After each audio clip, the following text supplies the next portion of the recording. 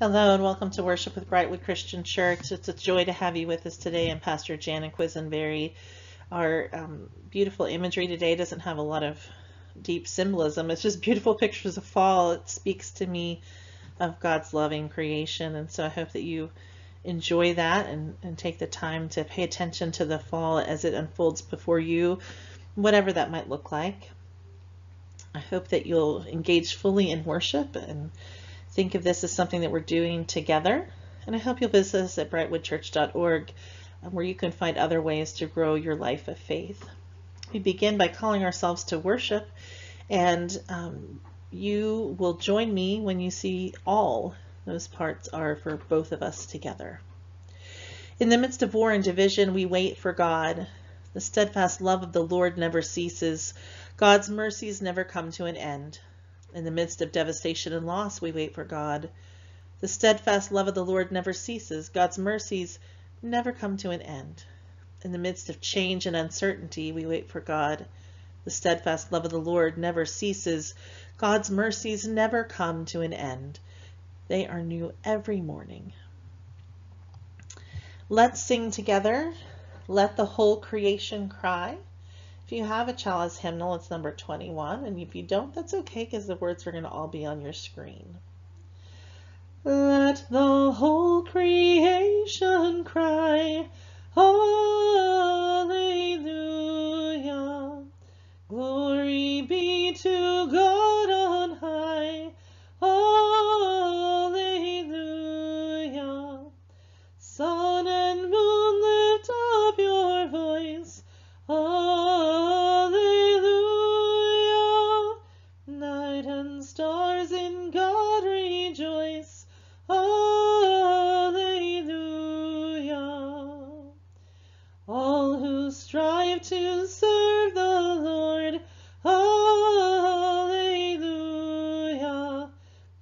Prophets burning with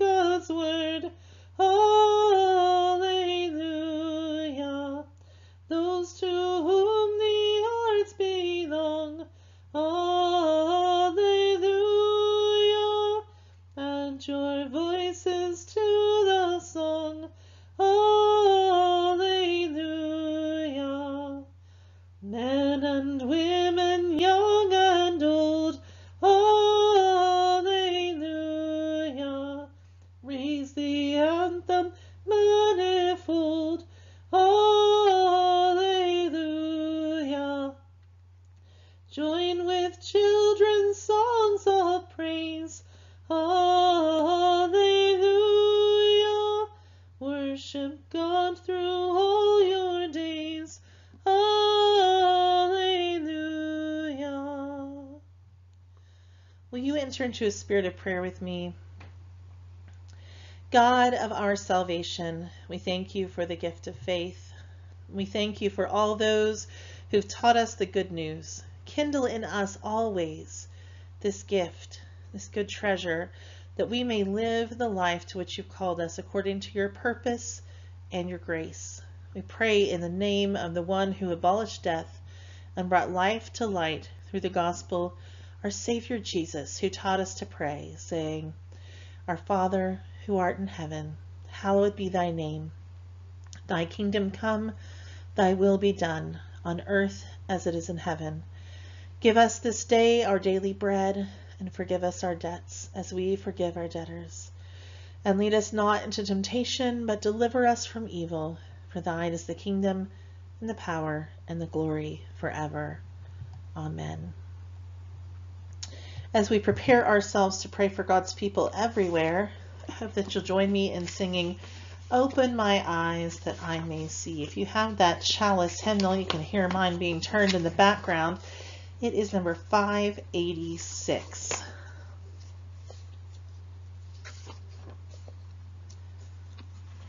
I don't have my sort of post-COVID voice back, and so I, I feel a little better having the music in front of me right now.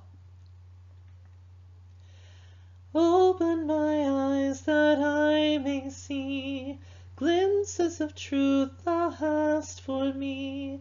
Place in my hands the wonderful key that shall unclasp and set me free. Silently now I wait for thee, ready, my God, thy will to see. Open my eyes, illumine me, Spirit Open my ears that I may hear voices of truth, thou soundest clear. And when the waves' notes fall on my ear, everything false will disappear. Silently now I wait for thee, ready, my God, thy will to see. Open my ears,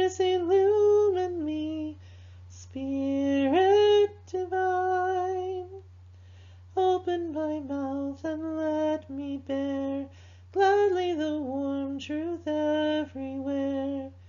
Open my heart and let me prepare love with thy children thus to share. Silently now I wait for thee, ready, my God, thy will to see. Open my heart, illumine me, Spirit divine.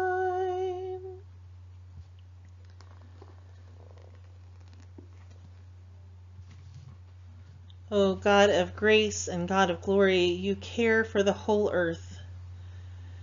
Even now you are reconciling all things to yourself.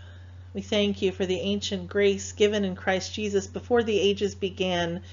As age has succeeded age to this present day, your grace is still with us. We rely on your power for all things. Great is your faithfulness, O God. We hope in you. We bring now before you the cares of the world. We pray for your people enduring the devastation of war and oppression from enemies. We pray for cities and for public life that has suffered destruction and ruin. Bring restoration, we pray, and an end to conflicts that divide and destroy. Great is your faithfulness, O God. We hope in you. We pray for nations and peoples undergoing turmoil and struggle. Return us to your ways of justice and truth. Give us compassionate hearts and resolute spirits as we work to repair community and offer solace where there is no resting place now. Great is your faithfulness, O God. We hope in you. God of tender mercy, you hear the cries of the one who is suffering, of the one trying to recover, the one who's been hurt by another, of one risk at risk in a complex and impersonal system. Enfold each one in your steadfast love. Take special care of those who do not or cannot cry out, but wait quietly in hope. Give voice to those who should not wait quietly. Empower them with strength and support all around. The powerless one who suffers abuse, the person who's lonely with no one to help, the one who wanders homeless among us unnoticed the one carrying an old burden, a silent grief, or an unvoiced fear. With the gift of life given in the soaring light of your gospel, abolish the daily death they bear. Great is your faithfulness, O God. We hope in you. We pray for your church, so in need of healing and reconciliation. Rekindle in us the sincere faith of Christ and make us willing and faithful servants in unmerited grace, in startling new mercy. You chose to call us not servants, but friends. You have opened us to a place at your table of grace. We would be good stewards of your grace and glad of the company you call us to keep around your table, which is larger than we have yet imagined. In gratitude for the bread and cup you share, we will honor you by sharing our bread with others by offering without reserve the cup you bless. Great is your faithfulness. O God, we hope in you. In the name of our Savior, Jesus Christ, we pray. Amen. As we prepare ourselves for partaking in communion, let's sing Bread of the World and Mercy Broken. Bread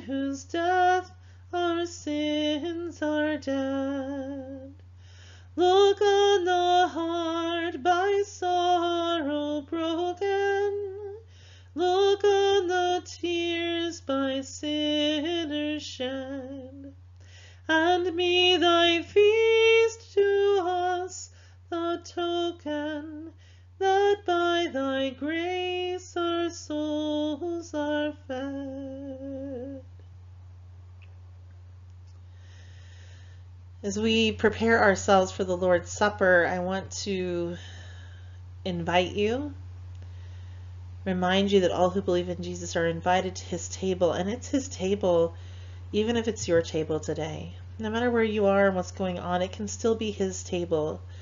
That's just the kind of word we have.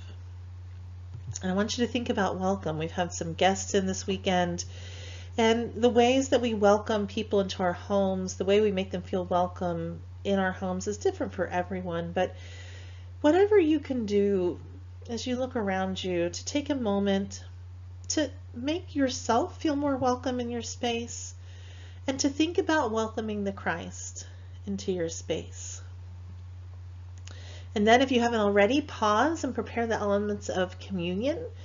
And because the world is very different and because you may have to worship at home today, that can be a lot of different things. It's okay. Jesus knows. And then when you come back, we'll hear the words of institution. So just pause if you need to. As they were eating, Jesus took the bread, gave a prayer of thanksgiving for it, and gave it to them, saying, Take and eat. This is my body given for you. Do this in remembrance of me. In the same way, after supper, Jesus took the cup and gave a prayer of thanksgiving for it, gave it to them, saying, Drink of it, all of you. This is the new covenant in my blood, poured out for you for the remission of sins. Do this in remembrance of me. Truly I tell you, said Jesus, I will not drink again of the fruit of the vine until I drink it new with you in my Father's kingdom. Amen.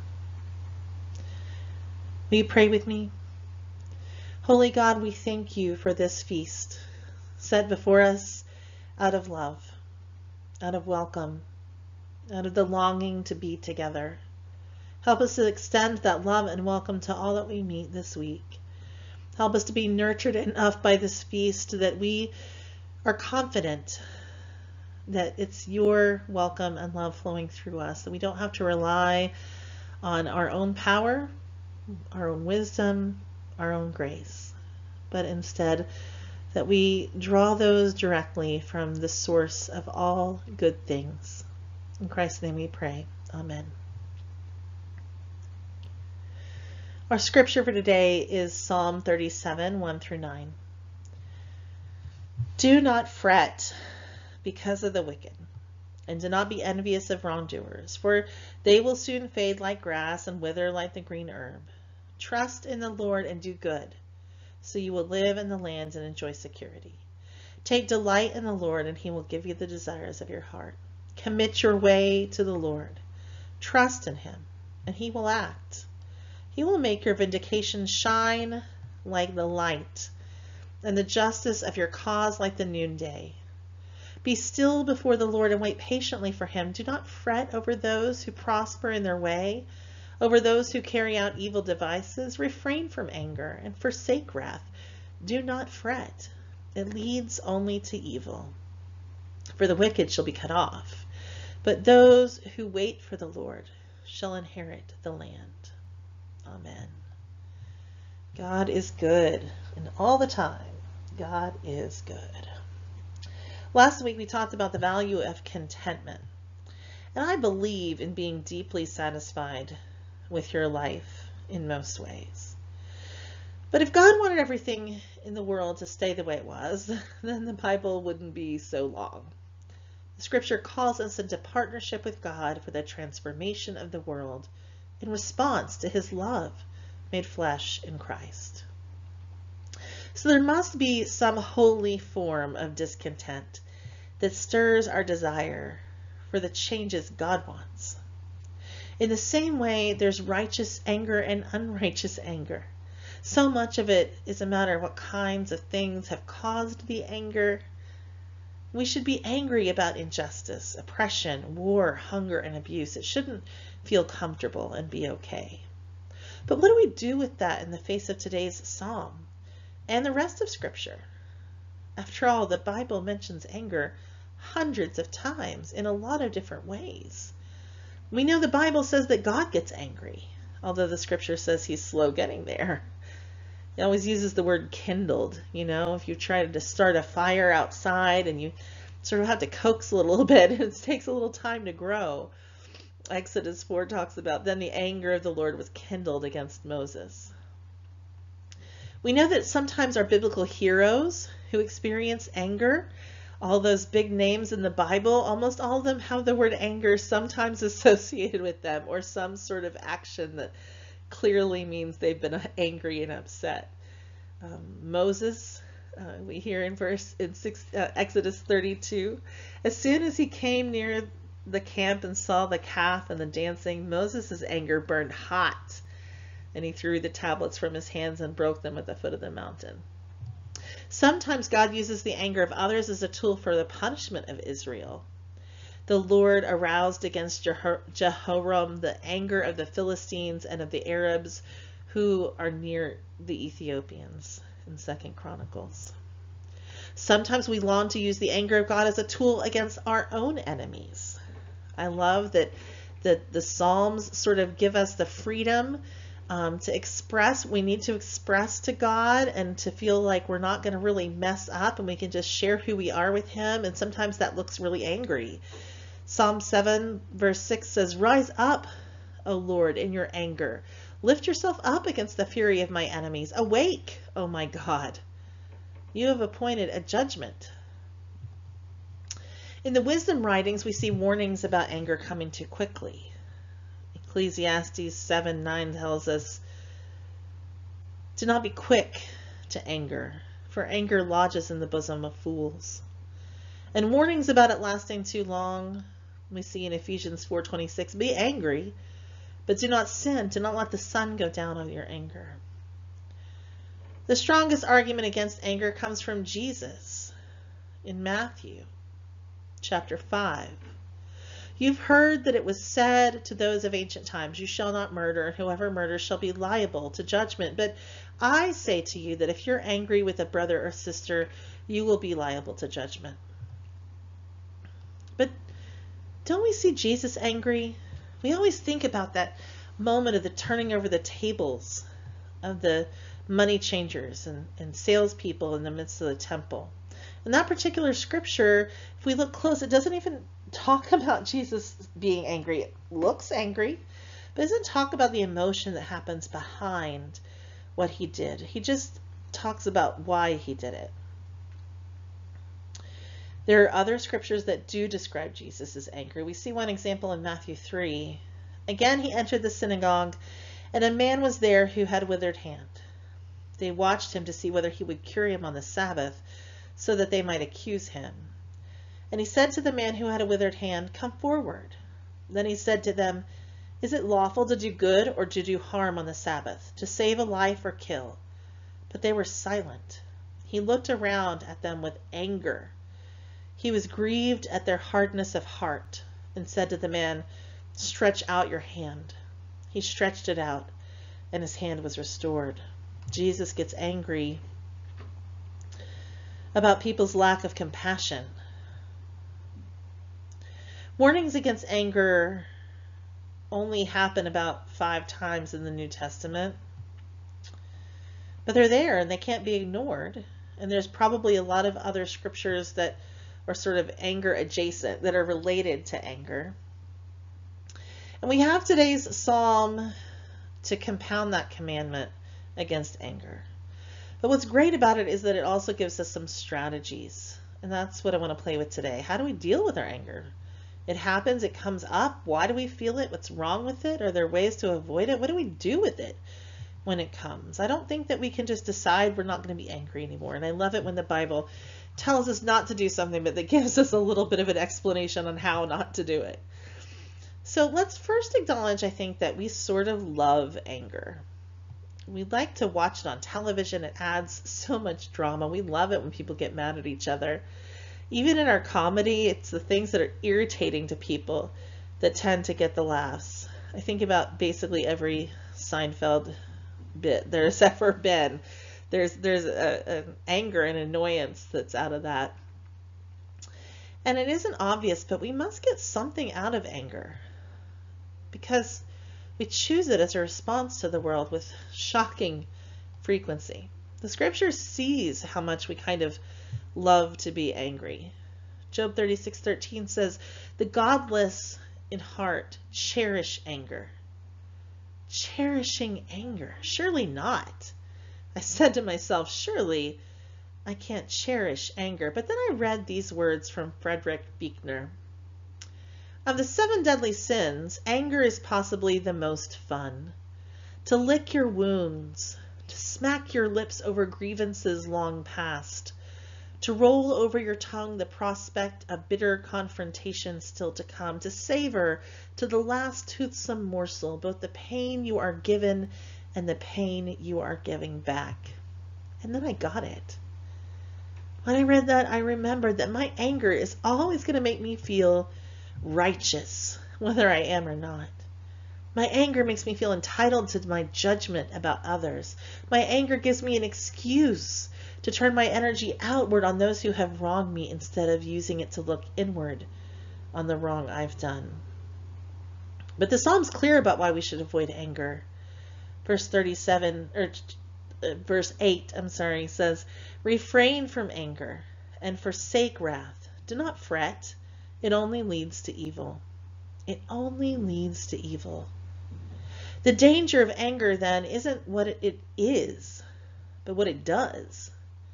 Buechner's great quote about how we feel and how we fuel our anger, how we feed on it, finishes this way. In many ways, it's a feast fit for a king. The chief drawback is that what you are wolfing down is yourself. The skeleton at the feast is you. We see the danger of anger everywhere. Some of my favorite examples come from the animal kingdom. Did you know that a rattlesnake can get so angry it bites itself and that it can die that way? It's rare, but it happens. The National Geographic told a story once about a national park ranger in British Columbia who had two sets of huge antlers as wide as a man's reach, both locked together. Evidently, two bull moose began fighting, and their antlers locked. They couldn't get free, and they both died. Locked in that anger and hurting ourselves anger's energy, but it, it usually ends up blasting out at the wrong people. You're combusting with our own spirits, slowly eating us away over long periods of time. That deep resentment that can be such a damage to ourselves and our relationships. And that anger energy, it isn't very good at knowing when to quit. Maggie Scarf wrote, Getting angry can sometimes be like leaping into a wonderfully responsive sports car, gutting the motor, taking off at high speed, and then discovering the brakes are out of order. And we've seen this. Something small builds and spreads until it has a life of its own, totally unrelated to what started it. The wonderful devotional book, um, The Daily Bread, it's also now an app, so I encourage you to think about looking into that. It shared a story long ago of the spring of 1894 when the Baltimore Orioles came to Boston to play just a routine baseball game, but what happened that day ended up as anything but routine. The Orioles, John McGraw, got into a fight with the Boston third baseman, and within minutes, all the players from both teams had joined into the brawl. But the warfare quickly spread into the grandstands. Among the fans, the conflict went from bad to worse. Someone set fire to the stands, and the entire ballpark burned to the ground. Not only that, but the fire spread to 107 other Boston buildings. It's not about the anger, it's about what the anger does. So, since it can lead to such evil, how do we avoid it? I think one clue is in the repeated use of the psalmist's word fret. Do not fret because of the wicked, it says. Do not fret over those who prosper in their own way, over those who carry out evil devices. Do not fret, it leads only to evil. Now, the dictionary definition of fretting is to be constantly or visibly worried or anxious. And that's the main definition. It's the one we're most familiar with. But there is another, a second one that's, I think, equally important here.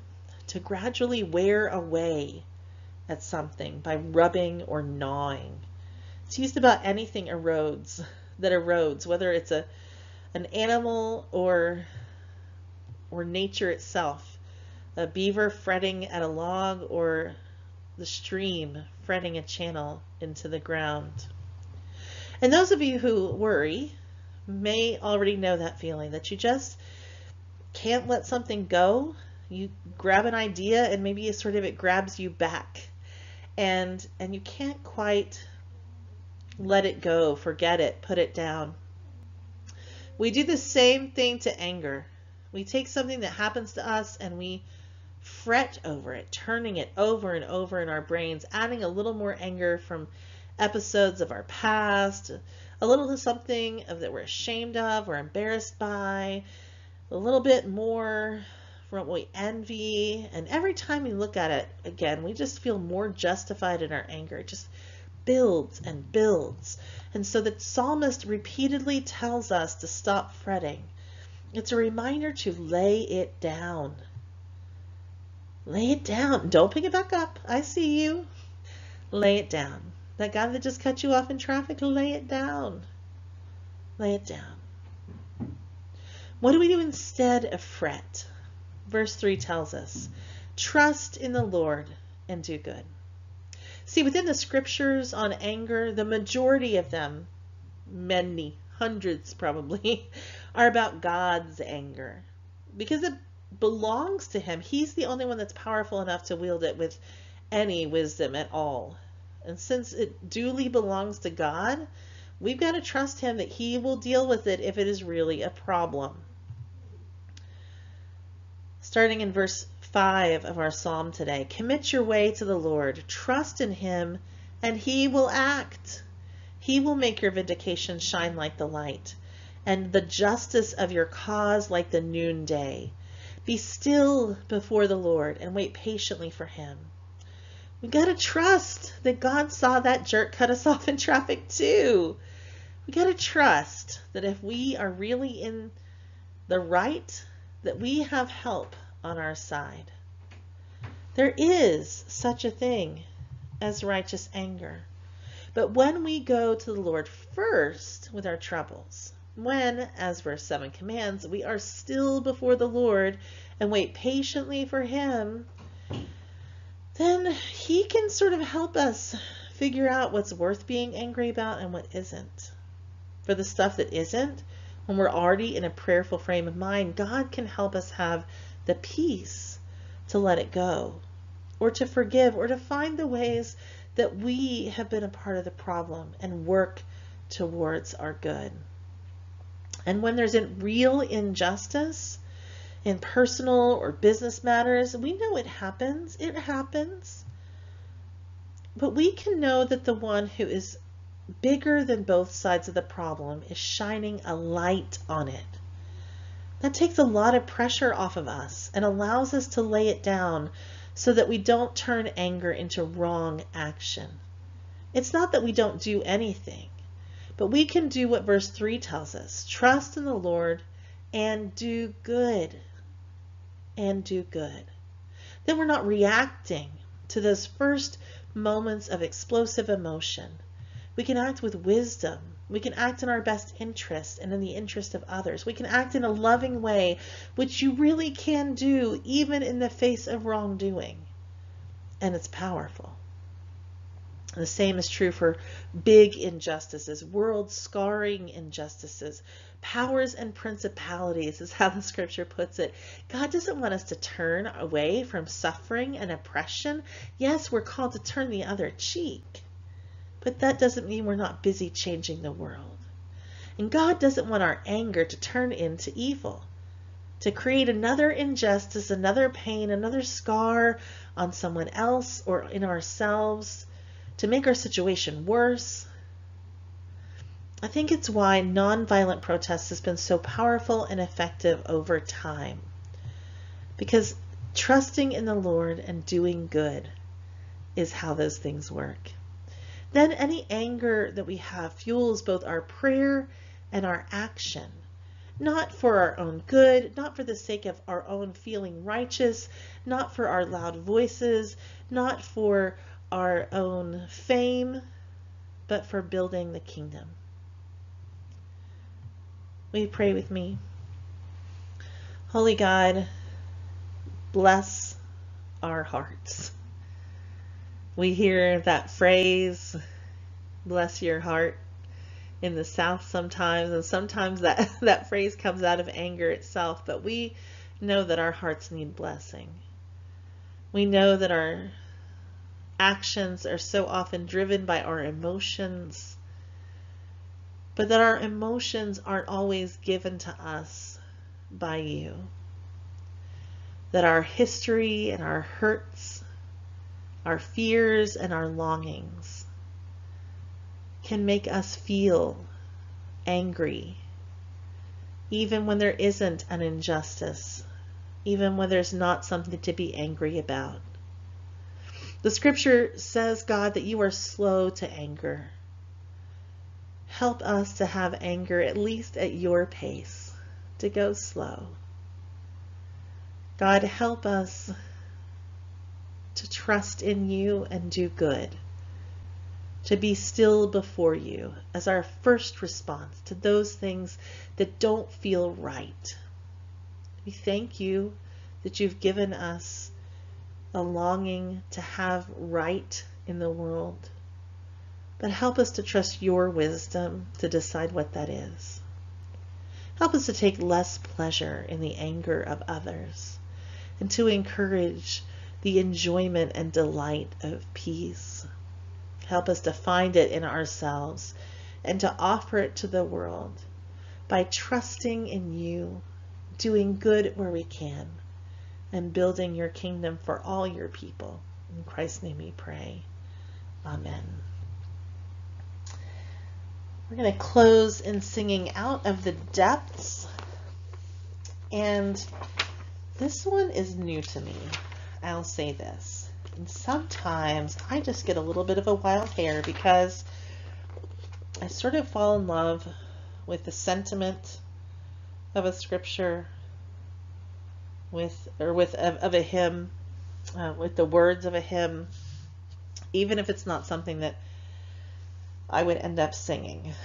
So here we go with this one.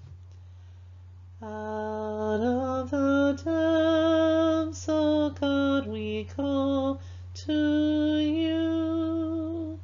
Wounds of the past remain, affecting all we do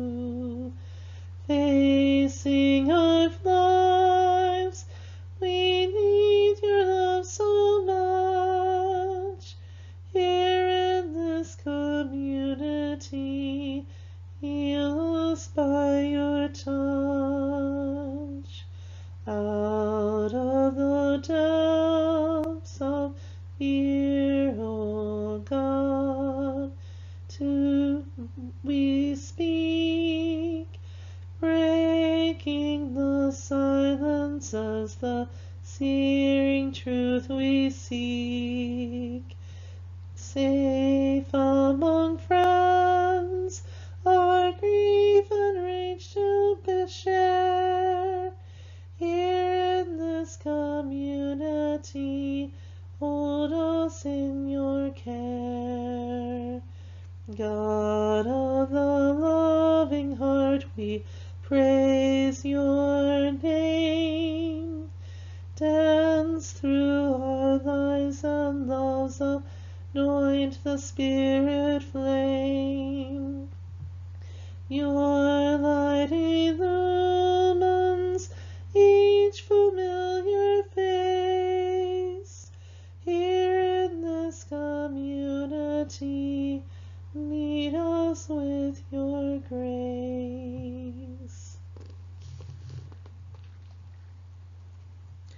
May the steadfast love of God be upon you. May the grace of Christ Jesus our Lord be within you. May the abiding presence of the Holy Spirit uphold you, now and forever. Amen.